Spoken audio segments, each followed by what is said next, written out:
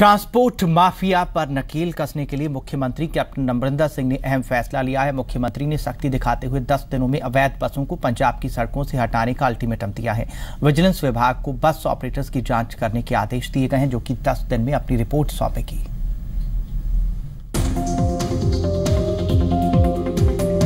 नई transport policy में हो रही देरी और प्रदेश में बेखौफ चल रहे ट्रांसपोर्ट माफिया के खिलाफ कैप्टन सरकार अब पूरी तरह से एक्शन के मूड में नज़र आ रही है।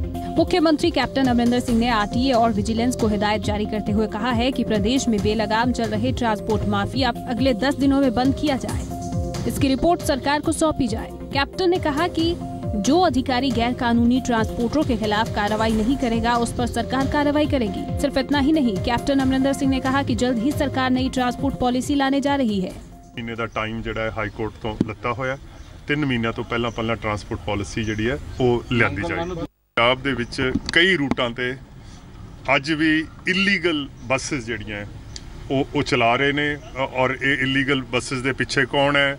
ਪਰਮਿਟ ਇੱਕ ਹੁੰਦਾ ਹੈ ਬੱਸਾਂ ਸੱਤ ਚੱਲਦੀਆਂ ਸੀਐਮ ਸਾਹਿਬ ਨੇ ਵਿਜੀਲੈਂਸ ਡਿਪਾਰਟਮੈਂਟ ਨੂੰ ਹਦਾਇਤ ਕੀਤੀ ਹੈ। ਰੋਡ ਟਰਾਂਸਪੋਰਟ ਮਹਿਕਮੇ ਨੂੰ ਤੇ ਵਿਜੀਲੈਂਸ ਨੂੰ ਕਿ ਇਹਨਾਂ ਦੀ ਨਿਸ਼ਾਨਦੇਹੀ ਕਰੋ। ਇਹ ਕੌਣ ਹੈ ਜਿਹੜੇ ਬਿਨਾ ਪਰਮਿਟ ਤੋਂ ਚਲਾ ਰਹੇ ਆ ਔਰ ਜਿਹੜੇ ਵੀ ਚਲਾ ਰਹੇ ਆ ਉਹਨਾਂ ਨੂੰ ਫਿਰ ਕਾਨੂੰਨ ਦੇ ਸ਼ਿਕੰਜੇ ਚ ਲਾਓ। पंजाब विधानसभा चुनावों में ट्रांसपोर्ट माफिया को खत्म करने के लिए कांग्रेस की ओर से वादा किया गया था।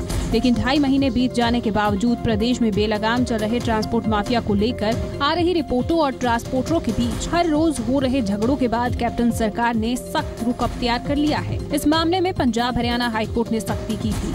चौथे सौ ट्रांसपोर्टरों के परमिट और लाइसेंस रद्द कर दिए गए थे। चंडीगढ़ से जगतार भुल्लर के साथ news desk report, C media.